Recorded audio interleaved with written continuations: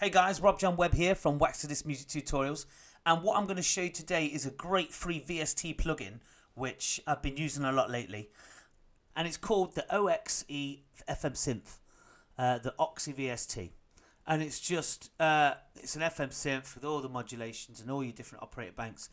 But what I like about this is the presets in it that they've got and there's quite a lot. There's a whole list of them here.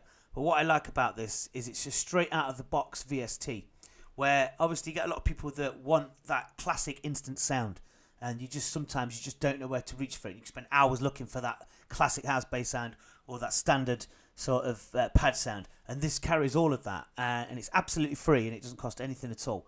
So um, what I'm going to do is I'm going to whip through some of the sounds and I'm going to show you just how good it is uh, if you need something that is, as I say, straight out of the box.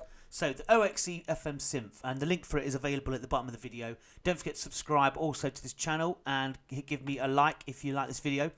Okay, so what we've got in here then is we've got like all the piano sounds here, like the Rhodes and that, and these are really quite good. I mean, this one's very metallic. It's very uh, digitalized as opposed to a, a original Rhodes, but it still does a pretty good job. You know, it's a really nice sort of warm pet feel. So you got that. Um, obviously, if you did something to that, where you stuck an auto filter on it and did the old trick where you turn that up, turn that up, and then pull that down, and you've got like a the wah wah sort of. Yeah, it's really nice effect on that. So it's a really good little Rhodes. And then we've got other Rhodes sounds in there. You got the word with the DX Rhodes sound, which is really nice, very 80s.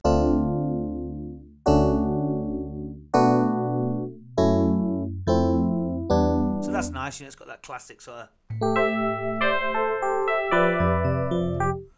So that's just your standard sort of sounds that you've got there. You've got a, a soft electric piano, which is a little bit more metallic, um, and then you've got your classic chord keys, which is a lot more drawn out. So you've got some great little sounds in that, um, and then you've got 80s keys, which is.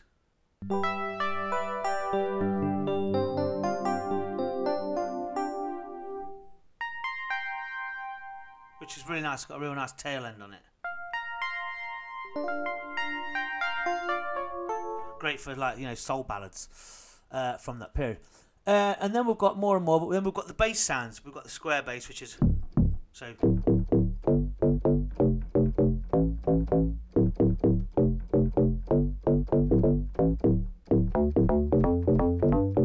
So you got some pretty cool bass sounds in there.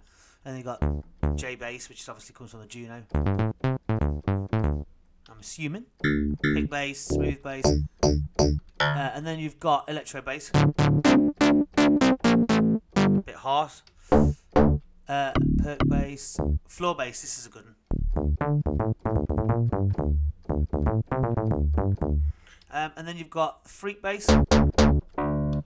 Slightly bass. Now this bass sound is, is, is a classic with uh, a lot of early house records.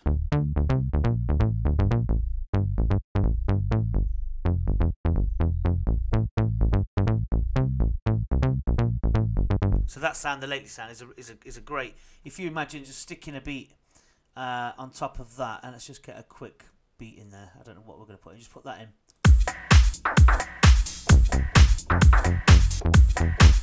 Turn that down. So you got.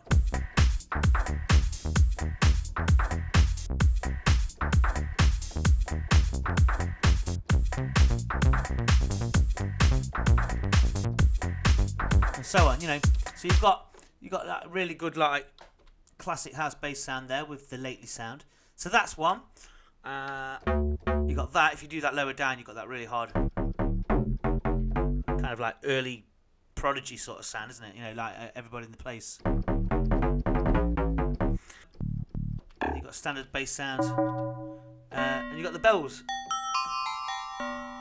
There's another sound in here that I like, which um, is in here. You've got all the trombones, electric organs, you know, you got. But then you've got the gypsy organ, which is. Let me just find that one and this one. This the, this is the standard.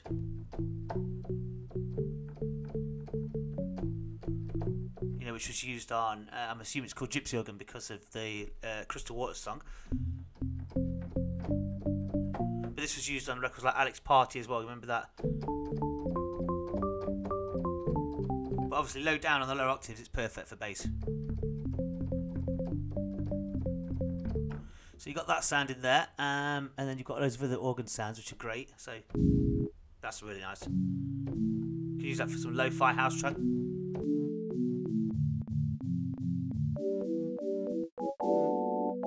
So it's really gritty and dirty, which is very nice and effective. Then you've got a Leslie, which is another organ. So some really good uh, sounds here, which you could use for a lot of deep house and lo-fi. Then you've got your claviers, which is standard. Um, which they, they sound pretty good pretty much anywhere really. They're a good sound to replicate. And then the oxy harp, just very synthy stabby, sort of thing you put a lot of reverb on. And then we've got a few pluck strings, Japanese sort of oriental sounds. That's a little bit too too digital that one. Uh, and then we've got strings and pads.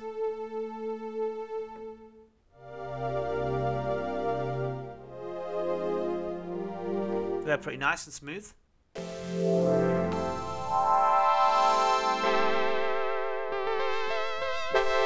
Nice pad. Nice brass pad. A good string pad, classic sound there. Perfect that is for build-ups.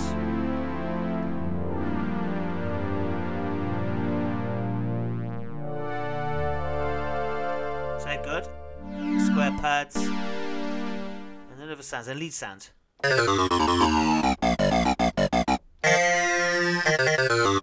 Um, what else we've got in there?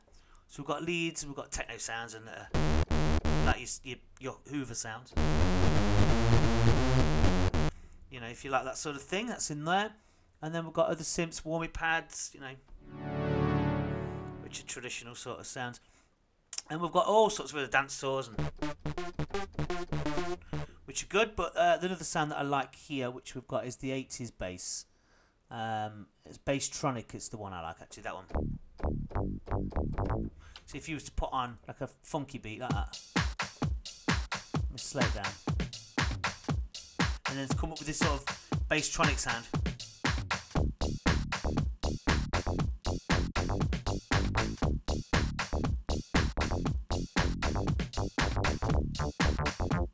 Which is just I find that I just really like that sort of that, that sort of sound that that that gives off. So that's good. Then you got 80s bass sounds like that, a bit heavier, a bit harder.